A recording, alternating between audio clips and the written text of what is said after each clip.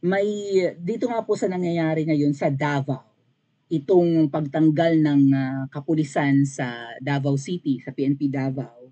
Also itong pinaghihinalaan po na um, black ops or secret mission para i-take down si Baste, suspension, may nag-positive na nga sa drug test na 37 katao. Baka, baka bina-black op yan eh. Baka may black operation or may secret operation laban kay Baste Duterte. Baka mamaya binibetchi na yan, na-discuss, na-discuss natin mga nakarang araw. Baka binibetchi na yan sila, nilalagyan na ng methamphetamine hydro, hydrochloride yung kanilang pagkain or inumin para sila magpositibo sa droga at palabasin nga po na bahang-baha naman ang droga sa Davao, even yung mayor ng Davao ay drogista pala or addict pala, 'di ba? Lalo't matatu. So, bukod pa diyan, ayun may mga dalawang batalyon na ng men, men in uniform sa Davao pinadala linggo ilang linggo na ang nakaraan at ngayon nga po ay planado na pala 'yan. Ngayon nga po ay kumilos na sila madaling araw para mag-serve ng warrant of arrest kay Pastor Kiboloy. Pag nagsiserve ka ng warrant of arrest, dapat alam mo na nandun yung tao. Kaya ka nga kakatok, ah, nandito pala, o oh, ito po, uh, sumama po kayo sa amin ng matiwasa yada-yada. Kung hindi mo alam na wala doon yung tao, paano ka magsaserve ng warrant of arrest? Katulad na limbawa kung gusto nyong ipa-aresto si Sisa Virus, si Sisa Virus pala nasa US ngayon, alam nga pumunta kayo sa Kabisayaan, Sisa! Or even dito sa kamay nila, kung may, well, tingin ko may resident si Sisa dito, si Sisa po, si Sisa po kasi ay lahing Bisaya din yan. Pero hindi balaktot ang dila, no? Oh. So, o oh, Sisa, kung wala sa kung wala sa QC, wala sa green si Sisa, pupunta ka doon. Eh, hindi mo alam na nandoon sa bahay. Eh, kung alam mo nasa US, huwag ka pupunta sa Green Hills o sa QC kung saan nakatira si Sisa. Dahil wala kang mapag-aabutan ng warrant of arrest, hindi mo naman maaaresto. So hindi alam ng mga men in uniform na yan, SAF, CIDG at kung ano-ano pang mga naka-uniforme kanina, naka-battle gear pa. Hindi naman nila alam na nandun si Pastor Kiboloy sa kanyang mga properties, lima hanggang anim na properties ang pinasok. Oh. Sa tingin ko, wala na nga, baka wala na nga sa Mindanao si Pastor Kiboloy. Dapat lang. Gantong klaseng gobyerno, biro mo yan, nasa, nasa sarili kang bansa, nagtatago ka. Anong klaseng gobyerno meron tayo? Malaya pa ba tayo, mga ate at kuya? Kami, oh, takot na takot kami pumuna sa gobyernong ito. Hindi ka namin matawag ng tamang pangalan yung kuting at ahas na yan. Dahil mahirap magsalita, mahirap po muna si Pastor Kiboloy, mahino, may hinahong tao. Hindi yan matinding mag-criticize sa gobyerno. Walang utang na loob ang nakaupo ngayon. SMNA yan naging platform ni Kuting. Nung hindi siya dumadalo sa debate ng ibang mga TV stations kasi mga bias ang mga TV networks noon. 'Di ba? Binaba, binabalahura nila si Kuting noon. Anak ng magnanakaw, pasista, anak ng diktador, hindi nagbabayad ng buwis, tax evader, yada-yada. Binabalahura si Kuting ng lahat ng mainstream media, particularly the TV giants of the Philippines. SMNI ang nagbigay ng platform gumastos ng milyon-milyon para makapagkandak ng, ng ilang beses na presidential debate sa Okada na napakamahal pa naman na venue Oh, nag-shine ng bonggang-bongga si Kuting na sa tingin ko naman ay uh, nabigyan na ng script yan para makasagot ng maayos sa SMNI debate. Oh. SMNI ang kontodo kampanya noon kay Kuting at kay uh, ah, VP Sara. Sinisira ng ibang media si Kuting tapos ngayon binabalahura ang, ang SMNI, ang may-ari ng SMNI demonyo, right? so VP Sara, alam mo, may nagbanggit na kaninang political analyst, these are not my words, VP Sara, na ang Davao ay binababoy na. Ano, VP Sara, imik-imik. Pero syempre, sabi ko nga sa mga nakaraang vlog natin, hindi natin mapipilit si VP Sara magsalita ngayon. Kasi, nag feeling ko nag-aantay pa yan ng July 1. Na-save ko yan mga ate at kuya kung, kung ano yung significance ng July 1 eh. Dali ah. Open ko lang.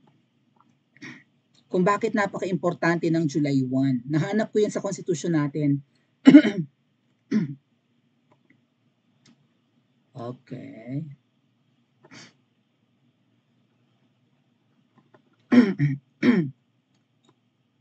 kung bakit importante yung July 1. Pagpatakpo kasi ng July 1, less than 4 years na ang natitira na term ni Kuting, di ba?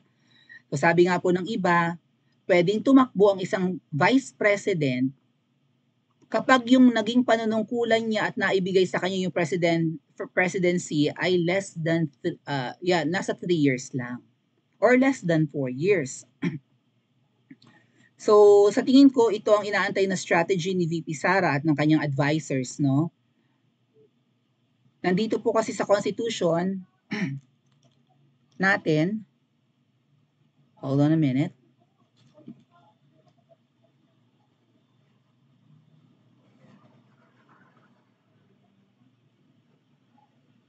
So, nakalagay dito mga ate at kuya na, si, uh, na ang presidente ng Pilipinas ay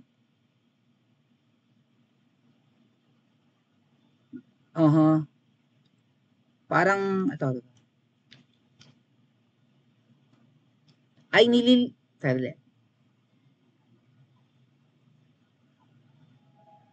nakalagay dito na ang term ng presidente ay limitado lang sa single term na 6 years. Kasi ang 1987 Constitution, 6 years na. 4 years yung 1935 Constitution, yung inabot ng tatay ni Kuting at binago-bago nga yan. So, oh, ayan, nakalagay dyan, ano? The president is limited to a single 6-year term. Hindi siya pwede tumakbo ng pangalawang beses. No one has served more than four years of a presidential term is allowed to run or serve again. Oh. Yung pinakaibaba. Labo nga lang. Pinakaibaba. Walang sino man na nakapagsilbi ng mahigit apat na taon bilang Pangulo ng Pilipinas ang papayagang tumakbo o magsilbi ulit. Oh. So kung si VP Sara ay one day maging Pangulo natin, hopefully sooner, kailangan less than 4 years ang kanyang magiging paninilbihan kung sakaling mapapunta sa kanya ang presidency after na masipa yung kuting na yan or matanggal sa pwesto ang hayop na yan at pwede siya ulit tumakbo. Iaalaw ng batas na mag na mag-run o mag-serve again kapag less than 4 years ang kanyang paninilbihan. So kung si VP Sara ay uh, palari na maging pangulo natin uh, on July 1 and uh, on July 1 onwards, pwede siyang tumakbo sa 2028 ulit. So almost kung magiging almost 4 years na yan eh mula July 1 kung sakali man no hopefully ngayong taon si VP Sara na. So, 4 years or more than 3 years ng konti, 3 years and uh, maybe 360 plus days. so, almost 4 years plus 6 years kung si VP Sara mananalo sa 2028. So, magiging president, president natin siya ng 10 taon. Yan ang hindi papayagan ni Nakuting at Ahas ng mga ganay sa pwesto at kapangyarihan at sa lab.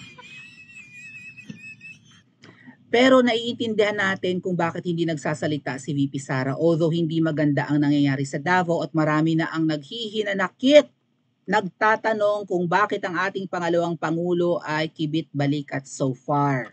Pero huwag tayo mag-alala, sabi even yung Kingdom of Jesus Christ nagsasabi na malapit na ang bukang liwayway. Balot lang tayo ng kadiliman ngayon pero may liwanag sa dulo nito.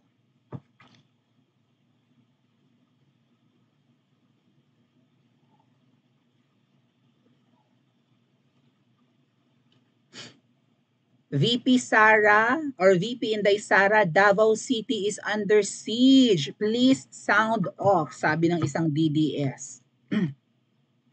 Kumbaga, imik-imik ka na, ang Davao ay under attack na. Ang iniwanan mo ng 2 years na mayor ka dati niyan at ipina, ipinaubaya mo sa kapatid mo, under attack ngayon ng puting at ahas administration. Binababoy. Yun ang words na, hindi ko nabanggit pa kanina, ano banggit ko na?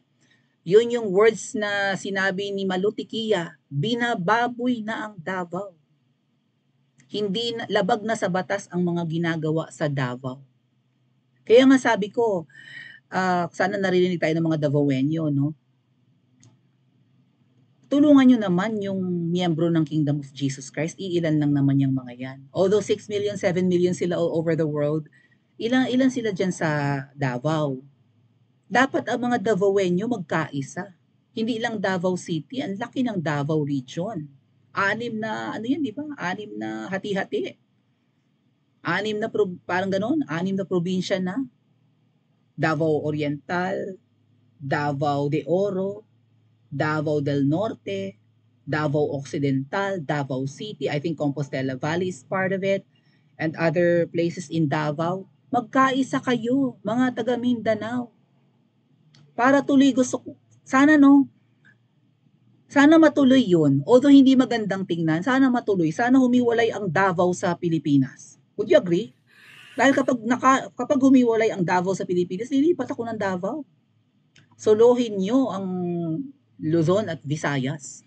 Wala akong pakialam kung kailangan ko pang mag-apply ng visa, makalipat lang, maka, makabalik lang ng Maynila or makapunta lang ng Kabisayaan. Huwag lang pasukin ng mga demonyo ang Mindanao. Papayag kayo, mga kapatid nating Muslim. Hello, hello. Hindi porke hindi nyo karelihiyon itong mga Kingdom of Jesus Christ, pababayaan nyo lang. Davao pa lang ang binababoy ngayon. Kayong mga, mga, mga taga Mindanao, pinababayaan kayo. Lagi kayong late sa projects. Ibibigay nyo yung inyong mga, ano, ang inyong mga nakolektang buwis ng pagkalaki-laki, pagbalik ng buwis sa inyo next year, ang liit ng share ninyo. Kaya ang bagal ng progress ng Mindanao. Mabuti na lang mataba ang lupa nyo dyan. Kaya sagana kayo sa mga prutas, gulay at kung ano-ano pa. Pero tingnan nyo, bongga ba ang infrastructure sa Mindanao? Pinababayaan kayo. Tiwangwang kayo, lagi kayong huli. Hindi kayo inuuna. Maynila, yan ang priority. The Empire Manila. O VP Sara, Davao pa lang yan, ano pang inaantay mo? Sige, antayin natin ang July 1. After that, VP Sara, matinding pressure ang aabutin mo sa amin. Ano ba, ginagayuma ka na? O, 20 days, konting pag-aantay pa mga tat kuya, 20 days pa. At pagpatak ng July 1, I guess maririnig na natin ang squawk or whatever, ang boses ng agila. Kaya hindi mo ito papabayaan, huwag mo ito pabayaan. Although siguro, ang siguro strategy rin niya ni VP Sara, na tingnan muna niya kung paano papalag ang kanyang kapatid sa injustice sa Davao at sa pambababoy sa Davao. Right? titingnan muna niya kung paano patibayin si Mayor Baste ng pang pang-aapi ng Puting at Ahas Administration sa Davao City. 'Di ba? Titingnan niya kung ano ang kaya ng kanyang kapatid at ng kanyang tatay na nandun ngayon, kung ano ang kayang mag kung ano ang kanilang magagawa. Pero VP Sara of all the public officials now, ikaw ang magiging pinakamatinding kalaban ni Kuting, lalo't katandem mo siya. Pag ikaw umimik, giba yan. Pag sinabi mong nabudol ka, giba yan. Agree ba kayo mga ate at kuya? Pakicomment nga po sa comment section at mag-like and subscribe din po kayo.